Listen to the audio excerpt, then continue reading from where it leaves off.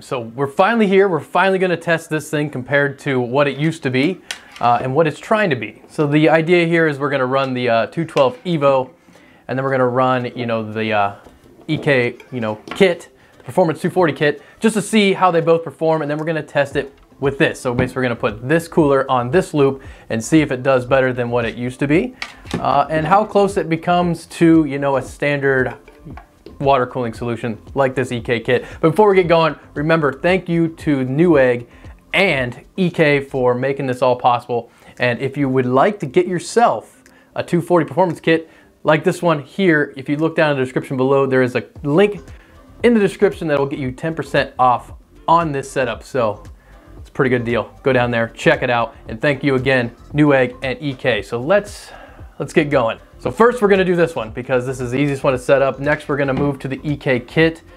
And then we're gonna do this one last because it's been quite a while since we used this bad boy, so I hope it holds together and if it, if it doesn't, well, rip. But let's get this one set up first.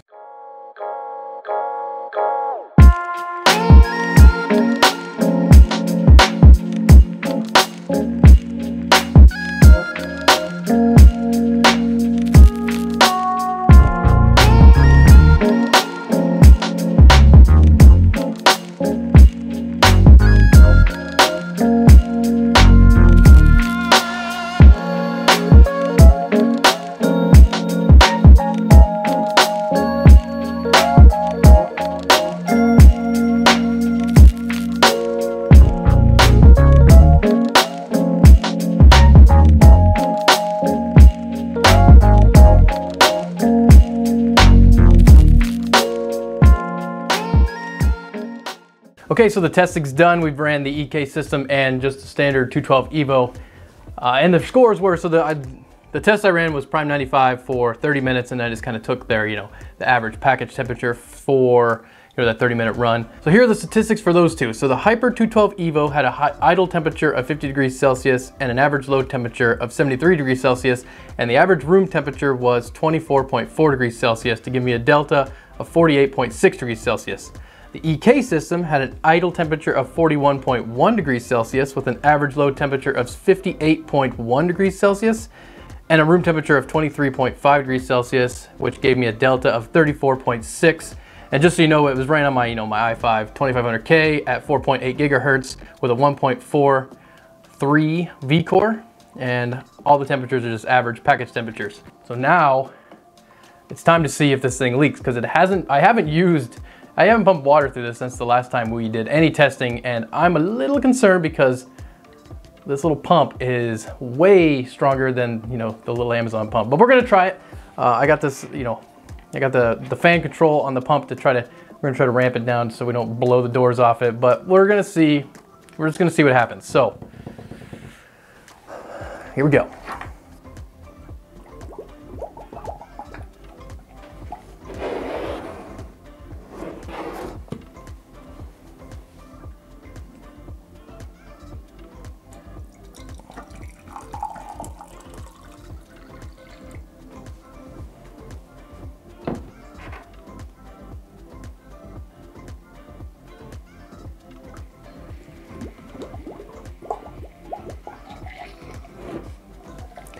This thing's got to run for 30 minutes, so we need to see to make sure it doesn't leak. So, so far so good. That's how it always is. It's good right at the beginning.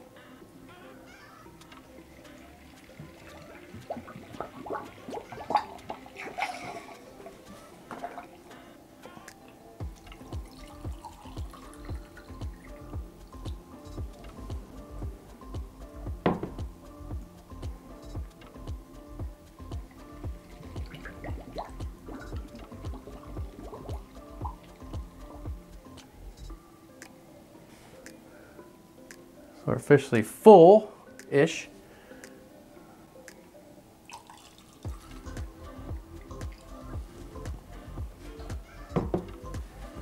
I'm also running the pump pretty slow right now.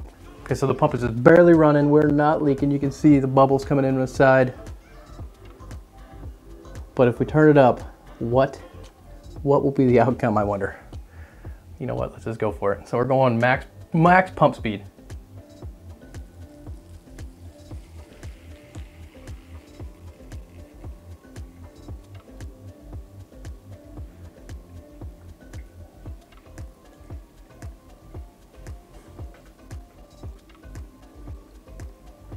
So we're just gonna let this run for a little bit just to make sure that nothing, you know, has the, because the pressure is a lot higher in the box now than it was uh, when we previously ran this thing. So we just wanna make sure that nothing lets go because we gotta make it through a whole Prime 95, 30 minutes to see what the temperature is. And if we die halfway through, well then rip. So we'll let it run for a minute. If everything's good, I'll see you back in a minute with this thing mounted on the board and we're gonna give it a shot. So good news, we made it through 25 minutes of leak testing where I ran this thing just basically at full pump speed just to make sure the, you know, the, the added pressure this time around was not gonna force any leaks and we're good for now. I did jam a bunch of paper towels in there now that I got it mounted up just in case uh, things let go because we just gotta make it through 30 minutes of Prime 95 to get a good comparison of, between this, the EK system, and then the stock, you know, the, the what it used to be, the 212 Evo. So 30 minutes is all we're asking for, Mr. Waterblock. Can you, can you do it, please? So as of now, everything is still dry, surprisingly, but quite awesome. So the EK system, when I had this hooked up with its stock water block, the package temperature at idle was an average of 41.1 degrees Celsius, and that was at a room temperature of 23.5. Right now, as this sits, the idle temperature of this little water tower thing is 42.6 on the on the package, and the room temperature is actually quite you know a bit cooler. It's at 21.3. Uh, so the EK system was doing a bit better than this was, but we kind of expected that. What we really want to know is how well this does under load, and that's what we're about to find out. And as we said earlier, this is the same overclock, so it's, it's still at 4.8 gigahertz on this i5 2500K at the 4. Point, or the 1.4243 V core. So everything's still the same, and we'll see what the temps are.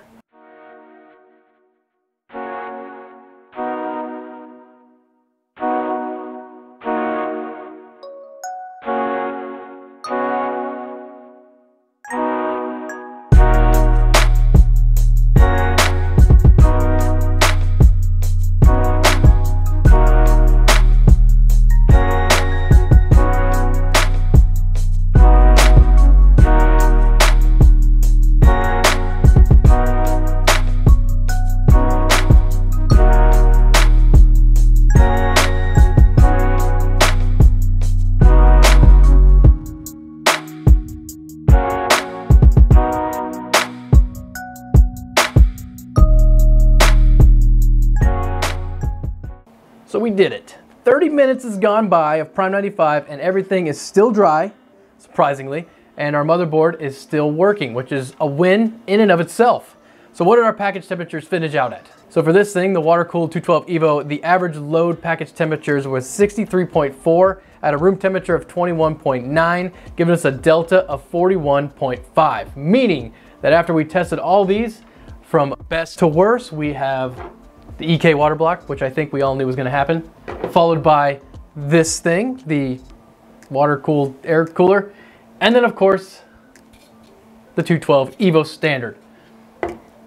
So what's that mean? Does that mean that's as good as this can get? I think I know and you know that we can make this much, much better and the, the easiest way to do so is to get some flow in here. So right now, water's just coming straight down and then going wherever it wants.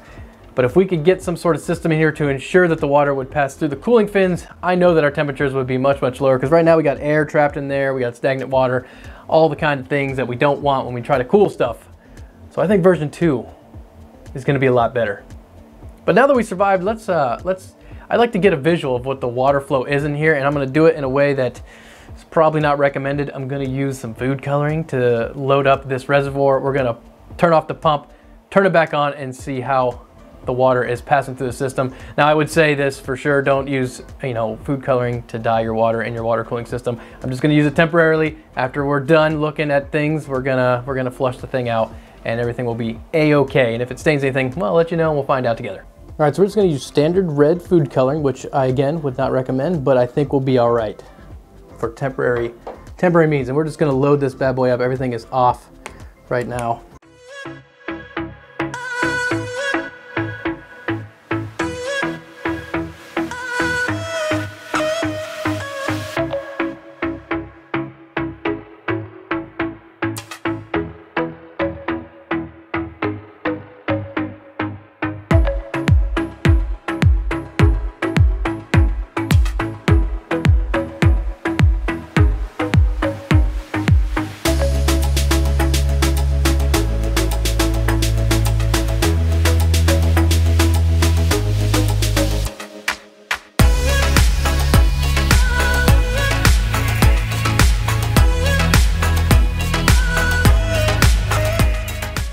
So I think it's pretty clear we got some flow issues to work with. The water is coming in one side, pooling over here, and then working at an angle up towards this side, and we're kind of getting a little dead spot at the top.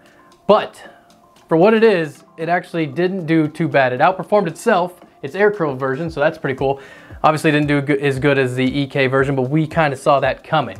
But for what it is, it still hasn't leaked, which I think is exceptional. And I'm just, I'm pretty proud of what, what it is. So I think in version two, we got a good idea on how we need to control the water flow to push the water through the fin stack to ensure that we get all the air out and we get much better cooling. So if you're thinking about getting a custom water cooling, I would not recommend doing this. Instead, I would tell you to go get yourself an EK kit for sure because it's gonna get you everything you need to custom water cool your PC and it's gonna perform better than this and it's also much, much safer. Uh, and if you hurry up, down below in the link for a limited time, there's a 10% off this exact cooling setup. So get down there and get yourself a water cooling kit and get your PC water cooled. Also, if you're thinking about dyeing your water, I would not recommend using food coloring. I'm gonna get this cleaned up right now. Make sure you get the appropriate dyes and everything else uh, to run in your water cooling loop. But for now, I think we have a good idea on how to proceed to version two. So thank you for watching. This is Major Hardware. And again, thank you to EK and Newegg for making this possible. And we'll see you in the next video.